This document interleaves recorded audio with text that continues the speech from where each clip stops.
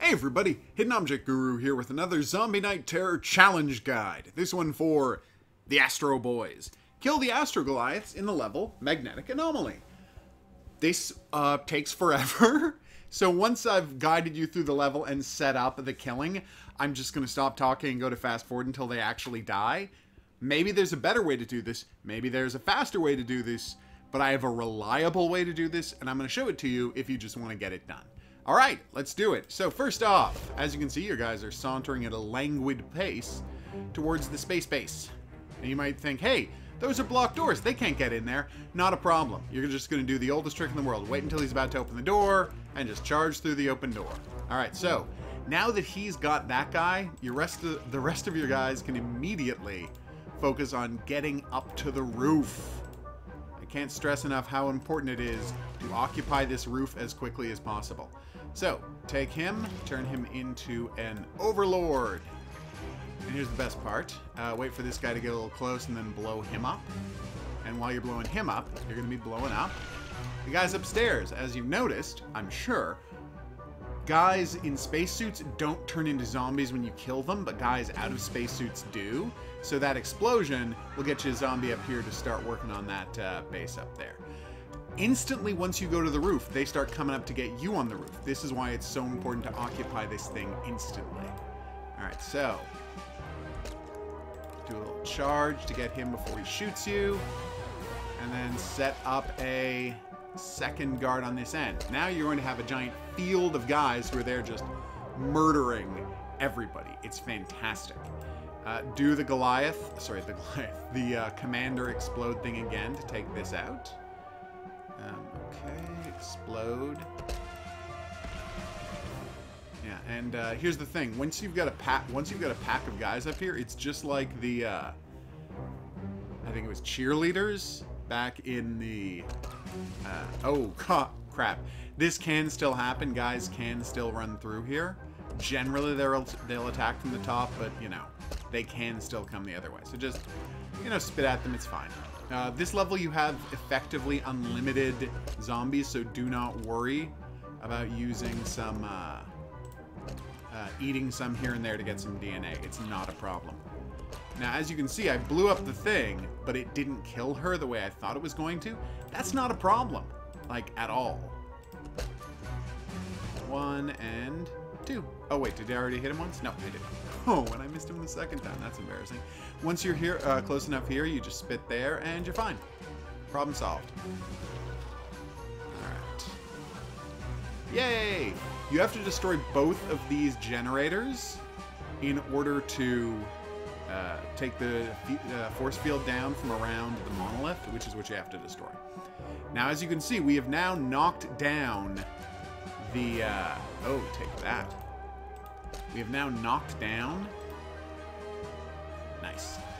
The doors. That's going to be important for finishing off the Astrogoliaths. But for right now, all you want to do with these open doors is you're going to set up some rapid fire shooting, uh, spinning overlords. And that'll just keep everyone from being able to kill you down here.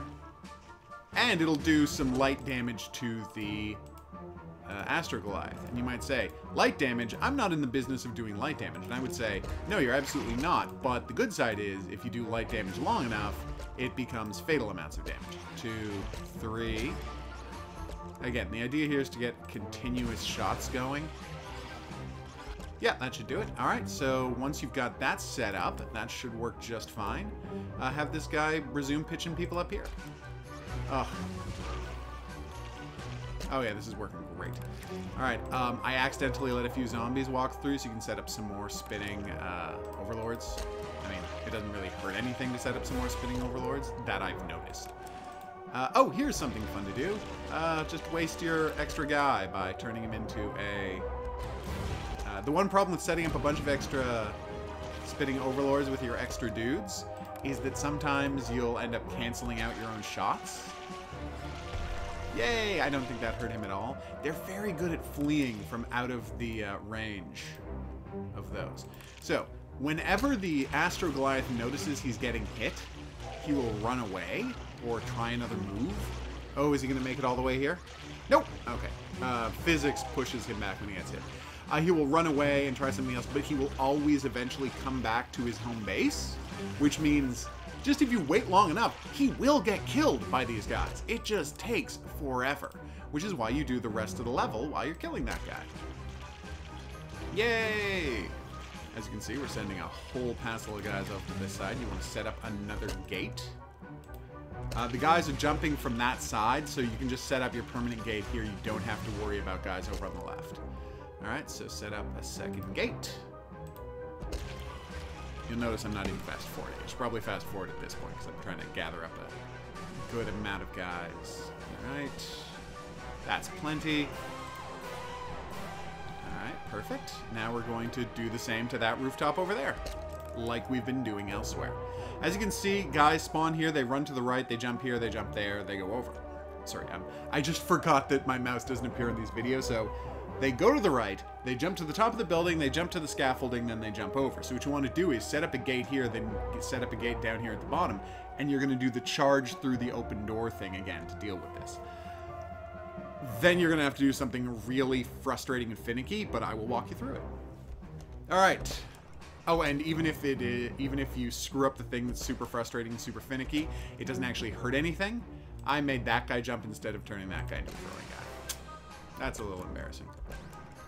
Uh, yeah, there's still enough. Oh, I was hoping there was enough left to kill that guy, but apparently there's not. That could be bad. Let me just quickly uh, set this guy into a sprinter. All right, good, we're fine. All right. Whew, that was a little on the close side. All right. Hi there. Mid-air interceptions. That's the cornerstone of dealing with those space guys. Okay. Whew. Uh, this could be a problem, but it's gonna not end up being a problem. Yay! Let's set up... I don't know how that guy ended up falling so far. What kind of mistake did I make there? Alright, get ready to sprint. Um, oh my god, did it work? No, it didn't work. Alright, I was hoping that would already have worked. Uh, we still haven't killed the Astro Goliath, notice. He's still kicking around. Ugh, so frustrating. All right, so as he opens the door, send a guy to sprint, and we're fine. Like, we're done. Uh, okay, as usual, spit up here. All right, uh, now, a fun thing to do. Okay, I'm trying to see, can I defend this, these guys, or should I just assume all of these guys are going to get killed? They're probably not all going to get killed, right? All right, so here's where it gets a little interesting, a little frustrating, whatever you want to call it. Uh, I'm just going to rescue my guys back here because I am emotionally connected to the random murderous zombies that I play as. All right, so now you see this guy walking over here. This is where it gets super finicky. You see there are two closed gate doors between you and the thing you need to destroy. So you need her to run and open it, but then she will keep running to out there. You can't let that happen. So you make her, you make this guy jump to attack her. She should run away unless I've timed this completely all backwards. All right, she runs away. As she's in the open door, scream to stun her. Then turn this guy into a sprinty guy. No, I screwed it up. I'm so sorry. Ah. Uh, yeah, I should have I should have spat. If you spit, she'll stay in the open door dying and the door won't close and you can she will hopefully wander in and break the thing. This looks like a problem, but it's not actually a problem. All right, uh, I let all these guys die after specifically saying I didn't want to do that, so now I'm a little embarrassed, but bear with me. All right, so here's what happens now. The game knows that you've closed that door permanently and destroyed the game, so it sends guys charging through here to help you out. It is basically the nicest thing the game ever does. So really, you can't screw this up. I mean, you can try, but you will not be able to screw this up. So, see how we've got that chain of guys pelting uh, assault slime constantly at the first Astro Goliath? We're going to do that again from the other side. So, you, you, uh, you jump, you jump, you jump, you jump. Hopefully they'll all get up there. You make these guys spit in this direction. One, As you can see, it's working fine. It's a ridiculous way to beat the level, but it GD works. So once I've get this all, got this all set up, I'll just fast forward the video from here, and then you will uh, see the result. Oh no. Poor guy. Well, he had that coming. I mean, he's a zombie. I can only be too sad about his death. Alright, uh, like I said, once you get more than three or four of these guys, you can start having them sh accidentally shooting into each other, and that's frustrating. But I'm going to try it anyway. Alright. Oh my god, it actually worked. Alright, I think four is plenty. Actually, I have five. I think five is plenty. Uh, and now... Oh, look! One of the Astrogoliaths died. So now, I'm just going to do this. A good trick is to make yourself a tank up here. And just, whenever this guy is getting to one place, you spit on him to get him to go to the other place. And plus, the tank spit does a lot of damage. But now, basically, what it comes down to is that Astrogoliath is caught in a loop and he's just going to wander back and forth, constantly getting hit until he dies. So I'm going to fast forward while that happens and not make you watch it, and then I'll meet you back here at the end. I'll be honest with you, that didn't take as long as I thought it.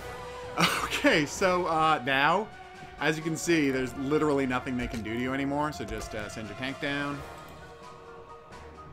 Uh, I'm to spit with... Oh no, my tank! Oh good, he can climb. I thought he was trapped. Uh, just send in your tank. Uh, your tank can actually damage the monolith with the spit, but yeah, you're fine. Two, three, four. He just has to hit the monolith a bunch of times, and level's over. Alright, so, uh, I guess it's time to start the sign-off. And if you get killed somehow, just bring in another Goliath. I didn't get killed, but, you know, it can happen. Alright, uh, I've been the Hidden Object Guru. Thank. Um, if you were having trouble with this level, I hope this guide helped you get the challenge. Uh, if you need help with any other challenge anywhere else in the game, and it's true this time, because this is the last level I hadn't done a guide for. Uh, if you need help with any other level anywhere else in the game, you can find it on my playlist. Oh, and they update the game from time to time, so if uh, you found something that I don't have a current guide for, like my guide isn't helping or the conditions have changed, just let me know, and uh, I'll update it, because you know, I love Zombie Night Terror, and I like helping people beat Zombie Night Terror. Alright, uh, so I guess that's that. I will see you elsewhere on the playlist, but until then, au revoir.